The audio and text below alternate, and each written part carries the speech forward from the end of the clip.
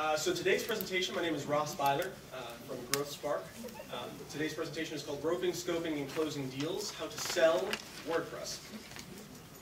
A little bit of information about myself. Uh, I graduated from Babson College, local business school here in the Boston area. I founded Growth Spark back in 2008. We are a uh, local WordPress design and development shop. Um, I was fortunate enough to be nominated by Business Week as one of the top 25 entrepreneurs under 25, which means I might know something. And I was also a WordCamp sponsor uh, 2009, no, sorry, 2010, 2011, and 2012. Uh, a few samples just from our portfolio, just to give you a sense for the kind of WordPress stuff we do. Um, here's a client project. Uh, they have a mobile application platform, Beat Henry. Another client that uh, has a beta release of a real estate search engine um, called Kiwi Listings, and a third, a investment management company called F Squared. All those sites are built in WordPress. But today, we're talking about sales. Um, we're not talking about WordPress design or WordPress development. So WordPress, how, actually, first let me ask, how many of you guys are WordPress designers, developers, uh, run an agency that sells WordPress as some sort of service or offering or anything like that? All right, awesome. Because this presentation is about you guys and not about WordPress. Um, however, I know all of you love WordPress, and I will make sure that the references that we make in terms of our sales process and understanding sales will be specific to WordPress. But one thing that's really important to understand is that no matter how much we love WordPress and we come to WordCamp every year and everything like that, whenever we have to get ready for a sale, talk to a client, we have to remember one thing. Our clients don't care about WordPress. now, some clients might. Some clients might come to you and say, oh, I'm looking for a WordPress developer. I'm looking for uh, meeting the following you know, WordPress requirements. But most clients are coming to you because they have real business problems. Things like lead generation, creating more brand awareness, engaging their customers online. They have problems that are directly related to the revenue, the growth, the future performance of their organization. The good thing about WordPress, and that we all know, is that WordPress is a solution that can help solve those problems. WordPress can be used to create communities where customer engagement can happen. It can be used as a forum to help customer solutions or questions or Q&A. It can be used for lead generation. You want to capture contact information and uh, do all sorts of cool things with integrating with e-commerce. WordPress is an endless solution, and that's what we know, and that's what we love, and that's why today what we need to do is understand how to sell all those great solutions that WordPress can offer to our clients. So let's talk a little bit about what sales is. And to talk about what it is, let's first talk about what it's not. Work, sales is not marketing. Now, most people will bundle sales and marketing, they'll put them together. They think that the personalities are the same, they think that the uh, tactics are the same, the strategies are the same. Personally, I like to split marketing and sales as far apart as possible. Marketing is about creating excitement. Marketing is about building your brand. Marketing is about generating potential customers. But sales is about creating actual customers, actual clients, closing actual deals, and actually generating revenue and not just cost. The other thing is that sales is not about knowing the features and benefits of your product, in this case, WordPress. Someone comes to you and say, oh, I need a WordPress, uh, I need a website. Oh, well, let me tell you what WordPress can do. They don't care about that. They need a uh, website because they have some specific problem with their business that needs to be addressed by using their website as a solution. The third thing is that sales is not smooth talking, huckstering, especially when it comes to development or design. We're working in a professional, highly skilled industry where you're not going to win clients by being smooth talking and throwing out promotions and quick deals and quick schemes that might traditionally be associated with this sort of sales persona of a used car salesman. That's not what sales is about either. What it is, it's about building quality relationships. And hopefully everyone kind of knows this uh, at the core, is that sales is really meeting someone or meeting a group of people and building a relationship with that person or group of people that can hopefully last longer than a single transaction, especially as designers and developers and marketers. Ideally, we want to get more than just one website out of a deal, in fact, if we can get one client, close that one client, and then get five projects from that one client over and over and over, you're actually cutting your effort down by a fifth. The other thing is that sales, and this is what I really want to stress today, is that sales is about solving your client's problems. That's your number one goal. It's not the features and benefits, it's not WordPress this, WordPress that. It's about solving the problems that your customer has. So let's talk a little bit about the sales process. Um, keep in mind that this sales process is, is sort of what we do at Growth Spark. Uh, everyone's sales process is going to be slightly different. Obviously, if you're just a designer or if you're just a developer, that'll change your process slightly. Um, if you're also incorporating marketing, that's going to change your process slightly. If you do custom work versus template-based work, that might change your process. But for our frame of reference, we do custom design, WordPress design, and development sites. So with a sort of full scope of project. And our process is broken into, down into four major phases. Qualification, needs assessment, scope analysis, and proposal presentation. So the first thing, qualification. Qualification is all about finding fit. It's all about identifying, hey, this guy was referred to me from my mom. I wonder if they're going to be a good potential customer, or is it going to be some other guy just trying to get a quick, cheap website? It's going to be about really identifying re opportunities or leads into opportunities. And the first step into proper qualification is defining your sales lens. The better you know your client and your customer, your target audience, the better you're going to be able to pick up the phone, have that initial conversation, and know within five minutes whether or not they're going to be a fit. Because it's not worth spending five hours, 10 hours, 20 hours, all the way through the whole process of dra drafting up a proposal to find out that they say, oh yeah, you know, it's not a fit because we don't have the right budget. Or, oh yeah, you know, it's not the right fit because we have to get it done yesterday. We want to find out fit, and we look at fit in three particular lenses, resource fit, technical fit, and cultural fit as soon as possible. Now, resource fit we look at as sort of the time budget question, right? Do they have the budget to work with us? Because we have fixed costs and we need to make sure that we meet those costs. Do they have the time? Are they looking to get this done in a time frame that fits, given our current capacity of work and given, given our, our general turnaround for projects? The second thing is technical fit. Is what they're asking even possible to be done?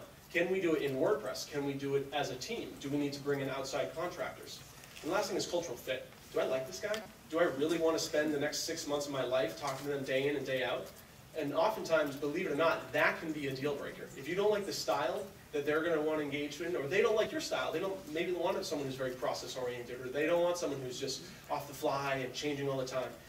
Figuring out that cultural fit, in my opinion, is just as important as technical and resource fit.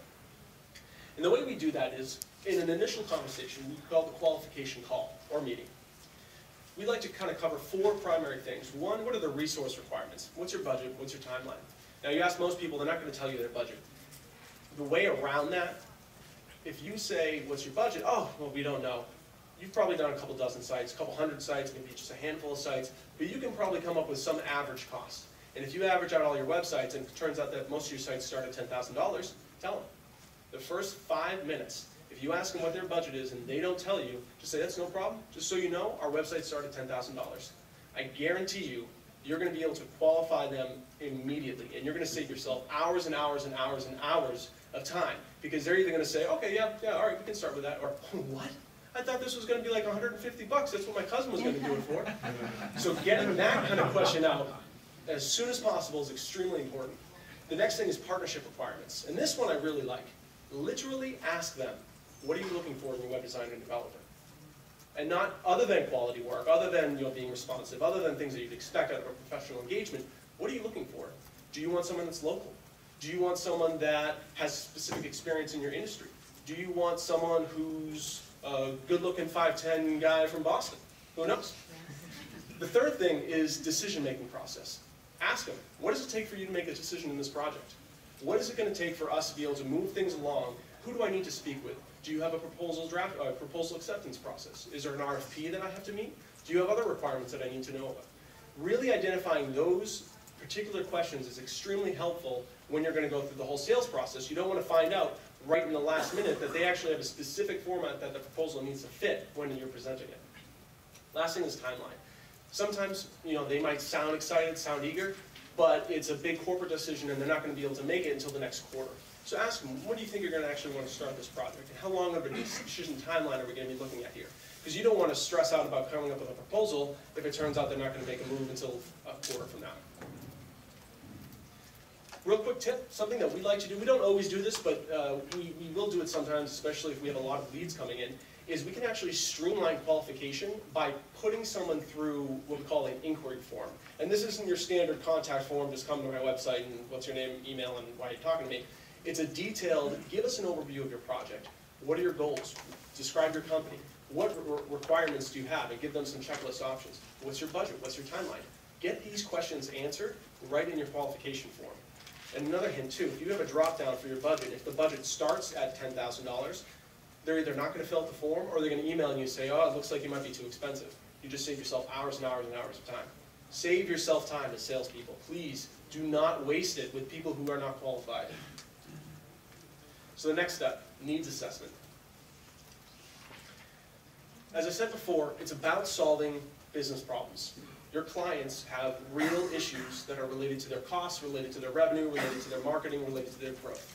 So the first thing you want to do is identify the business needs. And obviously it's, it's within the realm of the website, you don't need to ask them questions that are irrelevant. How do you go about building your product? Well, that might be helpful, but for the purposes of sales, you really want to get into what are the business needs as it relates to the site. So talk about what role does your website play in the marketing and sales of your organization? Is it something that your salespeople use to qualify people? Or is it something that you actually use to educate past clients and to create repeat clients and customers. Figuring out those types of questions can really help frame the conversation because now you're not coming in there and saying, well, WordPress is great, let me tell you why, and this is what we're going to do. You're coming in and you're going to say, hey, business owner, I'm a business owner. Let's talk a little bit about how I can help your business grow. And really focus on those business-related questions. Of course, it is still a website, and you do have to identify the technical issues. So you want to make sure that you spend time talking about what are your technical requirements, how many pages, uh, how many unique templates, and really work through the whole uh, you know, process that you need to identify the scope of work. Now, one thing that's really important is know your audience. If they are a technical person, if you're speaking with the CTO or the CIO or something of an organization, then great, speak in code. But if you're talking to someone who's uh, founder, entrepreneur, or CMO, or someone who's real business savvy, but maybe not technically savvy, work within the language that they're comfortable with. Because it's about your comfort's client, your client's comfort, not yours. The other thing too is that your clients, and some are going to come to you with an RFP, some of them are going to come to you and they're going to have clear needs, but not all of them. In fact, a lot of them are going to say, you know, I need a website, I don't know how much it costs, I don't know what I, I should do with it. I, I know my competi uh, competitors, they all have websites, but I really have no idea where to start. It's your job as an expert to uncover these needs. What you want to do is dig in deep. Again, talking about their business. Really taking the time to work through understanding their business can help you uncover needs that they might not even know. So it's your job to uncover any kind of need that your client might have. The other thing is that typically, and this is for us, we can usually get the sort of qualification and needs assessment phases done in one call or one meeting. Because you qualify someone pretty quickly, and if they're qualified, then you immediately jump into, well, what do you need? Let's talk a little bit about the project. The sales process is just that, it's a process. Typically, if it's a robust site, you're not going to have a single interaction and then close the deal. It's going to require multiple meetings, multiple phone calls, etc. Always set a next step. When are we going to meet next? When are we going to talk next? What's the deliverable? What are you going to be doing and what am I going to be doing? Make sure that every engagement you have with a client has a following engagement, a follow up with a time, with a date, with a, every single action that both parties need to take will ensure that you're progressing along and getting closer and closer, closer and closer to the close, as opposed to just letting things sort of like, oh yeah, well I'll get back to you, let me just look at this. Now the third phase is scope analysis. Now this is where things, I think, get more WordPress oriented, much more technical. We look at sort of the the scope analysis process, and we kind of break it down into four different major sections. So the first is defining project requirements. Now, what we look at as project requirements are more high level. So a client's going to come to us, we want to identify, do you need design? Do you need development?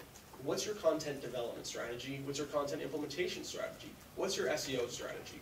Figuring out all those sort of higher level questions that are really going to dictate the general scope of work is a great place to start because it, obviously if you're a design development agency, you don't do SEO, you probably don't do content development, but if that's a key requirement from your client, you need to identify that and get the appropriate resources in place so that you don't lose the deal because you overlooked a need that you can't necessarily directly service, but is still a crucial component to your client's requirements.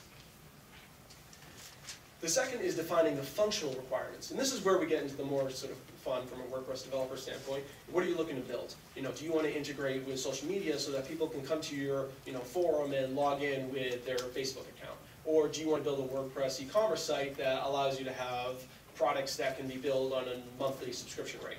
You know, really getting into those technical questions. Now, the key thing here, though, is you can't, again, without knowing your audience, just jump right into asking specific, specific technical questions if your audience isn't comfortable with that. So start at the business level. What's your goal? Oh, well, we'd like to, you know, generate leads on our website. That's great. Talk to me a little bit about what that means to you. Well, we want them to be able to fill out a form, and that form can then be sent to our CRM, and, and that's what we want. Okay, awesome. In your mind, you need a contact form management solution, such as Gravity Forms, and they need to have a CRM, such as Salesforce, and then you need to perform some sort of integration between Gravity Forms and Salesforce. That's the sort of functional requirements that you should be building in your mind or on paper that your client can't necessarily dictate. Now the third thing is design requirements. And we look at the design requirements really from understanding how many, because we all know WordPress is a CMS, how many unique templates do you need, not how many pages. Usually you can start with how many pages do you have on your website or what are you expecting. And that can give you a general sense for the breadth but then from there, you can break it down and say, okay, well, let's talk a little bit about what unique layouts, structures, designs, content types that we need to work with to create sort of a scope of design, a scope of templates. And obviously, you need to identify whether doing wireframing is appropriate, or if you're just going to be jumping right into mockups. And then also under identifying what are those templates going to take in terms of development. So although this is design requirements, you need to know if it's X number of templates, well then you have to do, you have to do the wireframing, you have to do the design, you have to do the front-end development, and you have to do the back-end development for those templates. And the last component is content requirements. And personally, since WordPress 3.0 has come out, I really, really like to spend time talking about the content requirements. There's so many really cool things, I'm sure all of you guys know that you can do with custom post types, creating custom fields, creating relationships between different types of content, creating different options in the back end that provides your clients much more granular control over the content across the website. You need to ask your clients questions that will help prompt an understanding of what kind of custom post types or structures you need to set up in the site. So if you talk to someone and let's say they're a photographer, they might say, yeah, I need a you know, website, I want to showcase my photography, I want to show some of my past clients, you know, and I want to talk about you know, the different um, areas that I serve. Well, in your mind, you might be able to say, well, great, they need a portfolio, so that's portfolio custom post type. They need clients, they need a client sort of custom post type, and they need you know, geographic locations or target audiences. That could be a custom post types. And I'm going to set it up so that every audience has an associated body of you know, content or associated body of, of past portfolio work. So let me think how that's going to look in the scope of this work. So take the time to map out all the different types of content and relationships that the client's going to need with the content that you have set up. Does that make sense? Can you ask you a question? Yeah. Do you have them um, provide you the content? Like, are Could you you please use the mic? Sorry, could you please use the microphone? Oh, can you hear me? Oh, It's being recorded. we have a um, problem, we have issues sometimes getting the content Yep. from the client. Yep. Is a big deal. Absolutely. Um, so do you have that written in the proposal that they need to provide you with the content and the date, and if you don't have the content by a certain date, um, what do you do? Yeah, a- absolutely. And, and that's where the first section of project requirements, the Okay. key thing that we always identify, by default, we don't write content, we don't even implement the content. Okay. We don't do that. If you want us to do that, that's great, we can do it, and we're gonna charge you hourly, we're, or we're gonna charge you per per page. But as a client, our goal is to train you to be self-sufficient in WordPress. So our understanding is that you're gonna prepare the content, and by this date, like you said, so by the conclusion of development, which is X, you're gonna have X number of files prepared to then implement, at which point we'll begin the training, and you'll have two weeks, or one week, or a month, or however long, mm-hmm. to implement that content. And if you don't implement it by a certain date, well, you're gonna have to pay us the remaining balance regardless. So we work in policies that dictate how the client should expect to deal with things like content, because it's, it's been a, a struggle for us since, since day one, and we're getting better at it, but again, you're, you're only gonna be as good as how defined you are with handling those kind of requirements. Right, not just the content, but we also had, had a real problem with the last, with the, um, the design of the website. Yep. Down to the colors, it was like we said, we should have gotten that on the first meeting, Mhm. you know, and so we're, we're still learning, but Yeah. that's what I need to. Yeah, well, I think we can have a great conversation afterwards, we can talk all about how you Okay. control that kind of stuff, absolutely. Okay, great, thanks. Um, one thing I really like to do, I'm a very process-oriented guy, in case you guys can't tell, um, is to template as much as my sales process as possible, everything I do. So every time I write a project scope document, which to the client is this two, three, four, five-page document that's super detailed and annotated, my hint is I have eighty percent of it already done. So get all that you can put together ahead of time, so that way when it comes to doing the sales process, you already have things that you can just bang out, fill out, you know, change things like the project objective for this client is such and such, and I'll remove these project requirements, but then add these templates and so on and so forth. The more you can template, the more efficient you're gonna be, the more efficient you're gonna be, the more you can sell, because the more time you're gonna have. The last phase is proposal presentation. Don't forget that your proposal is the last opportunity, right, that you have to sell your client. So don't just give them this roughly put together, unformatted Word document that they can't read because it's all in technical lingo. Give them something that's clean, that's organized, that's professional, and that's ideally even branded with your company's logo, tagline, so on and so forth. We use a tool called Tinderbox. Tinderbox is a proposal management software. There's a bunch of them out there. I think Proposable is another one. It's a fantastic tool because one, it can template all of our proposals so that all that sort of stock, well, this is what we do here, and here's how our phases work, and so on and so forth. All that can be put together ahead of time. So all I'm adding in is the specific scope of work, the client name, and the cost, and that's it. I can literally write a proposal within 15 minutes after I put all the scope work together in the scope analysis phase. And this saves me a tremendous amount of time, but still provides a high-quality, extremely engaging document that our clients can use and interact with. The second thing is defining your project policies, and this is, again, referencing content, content development, content implementation, how you handle 301 redirects, it could be any kind of nuanced thing. Spell that out in your proposal as clearly as possible. Don't hide it in the contract, don't cover it in legalese. Just let them know, listen, we don't do content implementation. I know that sounds kind of crazy, and I know you're expecting a website with the content in it, but that's not what we do. We're gonna train you. You're gonna be responsible for implementing content. But it's gonna be good because, you know, then you're gonna be self-sufficient and everyone's happy and we save you money. It's up to you to really make sure that your client truly understands how this engagement is gonna work as clearly as possible in the proposal phase. Because the last thing you want is in the ninth hour for a client to say, well, I thought you were gonna be doing that. Well, no, it's in our contract. Where? Uh, section A, B, one, two, three, you know, paragraph two. Well, okay, obviously I didn't read that. No one reads that kind of stuff. So spell it out clearly right in your proposal. The last thing, don't just ship it and forget it. Don't just write up your proposal, send it off and say, hey, Jim, let me know how you, what you think. Set up a time, a date, a place to meet, to call, to do whatever you can to present the proposal to the client. Now, obviously, you want to give them some time to review it ahead of time, maybe an hour, maybe a day, whatever it might be. But try to set up that meeting to review the proposal with the client as soon as possible. Because when you get them on the phone and still fresh in their mind and they haven't been influenced by their, you know, their wife or their husband or their CEO or whoever, you can find out their true reaction. They're gonna let you know, oh, this, this is actually great, this is on, this is on point, I think this is fantastic. Or you know what, we actually have these concerns, boom, boom, boom. If you can address concerns, if you can answer questions when it's still fresh in their mind, you have, you're gonna have a higher likelihood of closing that deal because now you're not leaving it up to the gods to hope that they're not gonna get things confused or the CEO looks at it because he hasn't been involved in the whole process whatsoever and says, nope, this is too much money, when actually it's exactly the amount of money that they agreed to spend during the qualification phase. These kind of things can be addressed very uh, positively in that, in that proposal presentation phase, so long as you actually speak with the client. So don't just send it off and hope for the best. So, a recap. First thing, qualify for fit. Make sure that you know that this client is gonna be a fit because they have the time, the budget, the requirements that you can deliver on, and that they're decent human beings.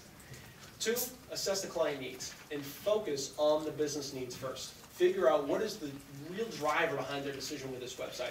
Are they redesigning because their competitor has a better looking website? Or are they adding a new feature because their whole sales operational model has now changed?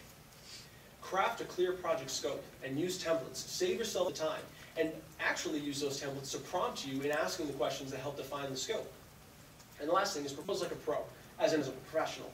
Make sure you're using high quality templates. Make sure you're using proposals that feel like they're compelling, they feel like they're branded. You want to give the right impression to your clients, especially when you're right about to hopefully close a deal. And that's it.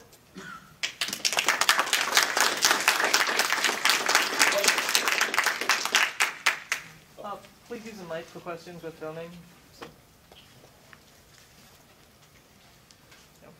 Will you post the slides? Yes, yeah, I'll add them to the slideshow later on today. Will you post everything you said? Uh, I think they recorded it, so the video will, uh, will definitely be up there. Hi Ross, could we get a, a copy of a sample proposal? Um, why don't we meet, and then we can talk more specifically, uh, just because there's obviously non-disclosure issues Understood. with that, yeah. But I would be happy to talk a little bit more in depth about the kind of proposal template that we use and, and that sort of thing. Um, why don't you see me after the presentation? Thank you. Yeah, absolutely.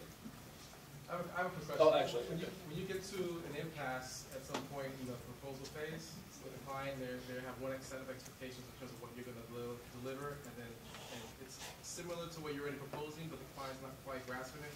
How do you kind of bring them into your understanding of it? Uh, all right, so if, if- give me like a specific example. So if your, if your client is expecting you to do something that you just are, So don't post, like typically do. post management would be a great Yeah. example. Like how would you make them feel comfortable with the fact that, listen, it's gonna be on your own, but we're gonna show you and train you how to do it? Like, sometimes there's a disconnect in explaining that. Yeah. How do you go to overcome it? Absolutely. Uh, I think two, two things. One is that I like to actually address those things even during scope analysis. When I'm presenting the project scope, I always define those kind of project requirements, like how do we deal with training and content management, so on and so forth. It allows you to not have those sorts of last minute concerns in the proposal presentation. The second thing is you want to align your scope, your solution, to your client's needs. And oftentimes, the client is choosing, they're gonna say to you, well, I need a website. Fantastic, it's gonna be a big website. Awesome, I need a way to manage it myself. Okay, or, oh, I have a team that's gonna be managing it. Fantastic. They're gonna give you business needs that are gonna drive reasons why making them self-sufficient, having them handle content implementation, having them handle content development makes sense. Because again, it's all about aligning your scope, your solution to their needs. Does that make sense? Yeah. Um, so I'm just a small, um, designer, but. I'm, I'm planning in the future, and when you're, when you're sending proposals in, do you qualify on the front end who the decision makers are and who all will be involved? And then how do you follow up when you have, like, say, maybe a CEO needs to sign off on it as well as a CMO, or maybe even a, you know, anybody else on the actual design and development team that they might even have in-house as Yeah. well if you're doing that? Yeah, absolutely. Um, It's definitely important to identify that in the qualification phase, um, and just ask. So in this, you know, process, obviously, we're gonna be talking about a website, and you're gonna have to approve whether we're gonna be a fit for your organization or not. Well, who is gonna be involved in that decision? Just ask them, right out. Uh, And if they tell you, oh, our CEO's involved, fantastic, anyone can get him involved in this meeting, or her involved in this meeting. Um, And if they can't, then one strategy, right, is you want to become their best friend. If you realize you're not working with the decision maker and there's no way that you can work with the decision maker, your next objective is to make sure that person's job is as, as, as like, going to be handled as best as possible. Because they're, they have to look good, they have to look good in the eyes of their boss. You want to do everything you can. So you have to ask them, all right, what can we do together to make sure that your CEO signs off on this? And you'd be surprised how just asking questions like this, mm-hmm. as straightforward as that might be, are actually effective. Okay. Yeah. And just to follow up, and your, your, your recommendation would be to get all of those decision makers into one meeting, to not have to spread them out? Ideally, Yeah, yes. Okay, And, and I think there are ways, you know, an initial call, qualification, you know, I think it's, it's fine to get certain things, you know, you don't wanna get someone high level involved in something that's gonna be quick, well, what's your budget? Oh, it's five thousand bucks, oh, we can't do that, sorry. Right. Don't wanna waste people's time. But once you get through that, then it might make sense to start bringing people in. okay, Yeah. thank you. Yeah, absolutely. Obviously, you guys do a lot with custom work. Uh, what do you guys think about packages and putting together predefined features, functionality? Because I work with small businesses, that's typically what they're looking for. Is like, Yeah. I need kind of this, and we can kind of build a package. Yeah, uh, it's a great question. Um, it's actually, it's a really fundamental question as to what kind of agency you want to run. Um, so Growth Spark, right, we do custom design development work. We have a, a brand, if you will, called Spark Launch, which is a package solution for small businesses. And for us, the two brands are separate, and what we want each brand to stand for is quite separate. And it's really just a question as to whether or not you want to be known for efficiency, cost effectiveness, customer service at a low price point, or highly custom, engaging, award-winning kind of work. So it's gonna be, it's gonna be a little bit of a personal question, I would say, yeah. How do you deal with uh, changes throughout the project? Or let's say either, either if you mi- misquoted in the very beginning uh, and didn't get the whole scope of the work and realize it's gonna cost you a lot more than initially? Yep. uh, to develop, or the other way around, if you kind of quoted everything correctly and the client starts making changes to the requirements, Right. uh, not drastically, but subtly, Mhm. but such that it affects your budget. Yeah, it's, it's a great question. The first thing I would say is policy. It's all about having the right policies and spelling them out clearly in your proposal. If you decide to change any component of this project scope, we're gonna bill you hourly at hundred and fifty dollars an hour, period. Or, we're gonna have to renegotiate the project scope, or, we're just great people and we're gonna do whatever you want us to do. Totally up to you. How you handle that is totally up to you. Oftentimes, if we see something that is gonna be a fifteen-minute change, we do it, no, no questions asked. An hour change, we might even do it, no questions asked. But if the client's like, oh yeah, change this and this and this, and all of a sudden it's a ten-hour list, then you have to say, okay, listen, this is what we agreed to, and this is what we're looking at now. We wanna make sure that you're, you're very straightforward with the client and as communicative about scope changes as possible. And the other thing is you wanna build a process that allows you to prevent scope alteration. This is never gonna happen, but ideally, get as close to preventing scope alteration as possible. So the more significant, or more specific sign-off you can get from your clients along the way, such as, first we do wireframing, you're going to approve the wireframing. We're then gonna move into design. If you decide to change the structure of our design, and not the graphics, then we're gonna assume that is a adjustment to the scope. Or if you decide to add additional templates, that's gonna be an adjustment to the scope. Getting a process that allows you to hold them accountable for the agreement or the sign-off that they have provided, phase after phase after phase, allows you to prevent, ideally or partially, those kind of issues. Got it, thank you, Yeah. appreciate it. Yeah. Hi, uh, my name's Walid, with, uh, owner of Sphinx Web Design, and, um, actually, I, I noticed your stuff, your tips here definitely work, cause I had, um, I noticed you did the F squared investment website, and they Yeah. actually came to me, and I Sorry. didn't win the sale you did, so. Sorry. I'll, I'll buy you a beer tonight. But, um, My question is, uh, more in regards to, um, managing the sales process, Yep. so is there any, uh, particular software or CRM you use to Absolutely. keep Yeah, track, do you have any absolutely. about that? Um, it's a great question, because there are hundreds of CRMs on the market, and for most of us, designers, developers, where we're typically doing fixed cost projects, I would assume, I really like PipelineDeals. I use PipelineDeals, I've used it for the last three years or something like that. It's perfect for, uh, fixed cost project engagements. It's not good with product-based, e-commerce type stuff, it's not good with, uh, retainer-based tracking, things like that. But if you say, hey, listen, I have a deal, the deal's worth X thousand, you know, I wanna manage that process. It has lead management, contact management, tracking notes, tracking tasks, running reports, analytics, and it's like fifteen bucks a month. And that syncs with your lead generation, so when you get leads coming in or? Not or- directly, but you can just set up a contact form that, Okay, set- that basically syncs them up. okay, I'll Yeah, check it out. Yeah, it's Thank, cool. thank Yeah, you. Okay. absolutely. Hi there. Um, we, I run a small web design and development business with my husband. Yep. And proposals are a nightmare, we hate doing them. And the hardest part is deciding how much something's gonna cost. Yep. A huge part of that is that we're not very good at tracking how long things take. Yep. Um, especially my husband. Um, But an, another, um, one, one part that we struggle with, we, we, we tend to have clients that are under the ten thousand dollar budget Yep. mark. And they're often nonprofits or small Mhm. businesses, and they're, they want more than they can afford. Yep. So your, your pro, your, part of your sales process is to give them options. Mhm. And, and so I'm curious how much you do breaking down a project and into particular functionalities or stages or things like, hey, you know, you want us to implement the content, but that's gonna cost you this much. I mean, in Yeah. your case, you just make it an extra, maybe it's, you know, Right. a key part. And I, I'm just curious how much breaking down you do. That- It's short. That's a great question. Um, so all of our projects are fixed price, and we don't say fixed price line items, it's, it's X thousand dollars. Right. That's it. I'm not breaking this down, because I am pricing a value-focused product. I'm not giving you something that's based on the number of hours I'm putting in this, because frankly, whatever I estimate is gonna be wrong. But what I know is that the value of my product is such, because other people pay me that. That's the only reason why. But the key thing I would say is introducing cost as early as possible, qualification, figuring out their budget. During scope analysis, just, just lay it out, say, listen, you know, we've done something like this before. Uh, what we're looking at here looks like it's gonna be more along this sort of scope of work. Um, if that's sort of within your comfort zone, that's fantastic, let's move forward with that. If not, maybe what we can do is look at this in two phases, and I think what would make sense is here's your core functionality, here's your extended functionality. Let's break those apart, and let's maybe do two projects. And that just kind of open, honest, budget-focused conversation tends to be very well received.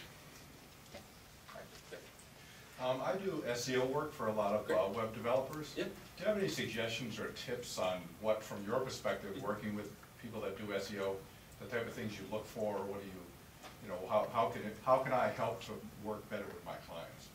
Yeah, okay, so your, your clients being the de- developers more or Developers, less, okay. exactly. Yeah, that's a good question. I think, um, I mean, SEO is fairly broad, so it's important to be able to come to the table and say specifically, this is how I can help you as a developer. I know that developers need someone to implement content, someone to add all the meta information for content, someone to handle the 301 redirects, someone to handle coming up with a landing page strategy. If you can come to the table with a conversation piece that is focused on what you can do for your developer, specifically, not just I do SEO, what do you need? This is what I've seen other developers like you need. I think you're gonna find a better result.